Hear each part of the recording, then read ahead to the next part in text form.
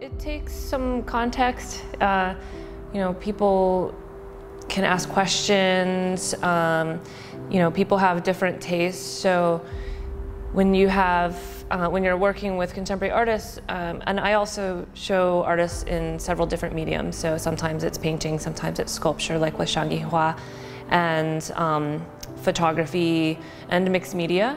So, and each artist has their own vision, their own personality, their own uh, information that is going into the work, uh, that whether it's more about their process or more about their personal history.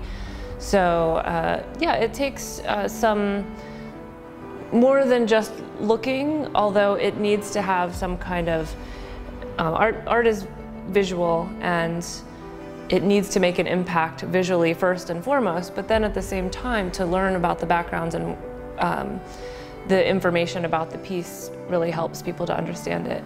So we usually are very open to uh, having public discussions or when anyone just comes in to ask questions and talk about the work. And each uh, series, like this exhibition, is very specifically, you know, new work that the artist has been working on for the last year. And so often artists works work in series. So each series might have a completely different sort of, you know, background to why they're doing it. My entire family on my mom's side lives in Taiwan.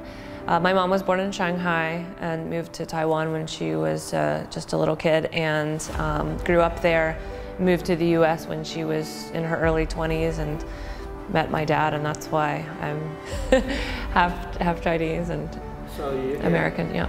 So you can understand Chinese, I think. I can. You, can, you cannot speak very well, but you can. Speak. Yeah, my understanding is a little bit better than my speaking, and because I, when I go to Taiwan now, it's a, for such a short time. You know, maybe I go for a few days or a week, and it's really not enough time to get it back. But when I was a kid, I used to go. I would spend the whole summer there. So I would be speaking Chinese, um, but then I lose lose it uh, when I'm here. Taiwan, how much it's changed too over the years, because um, I started going in the in the early '80s, um, and I was just there last year. So, Hsinchu.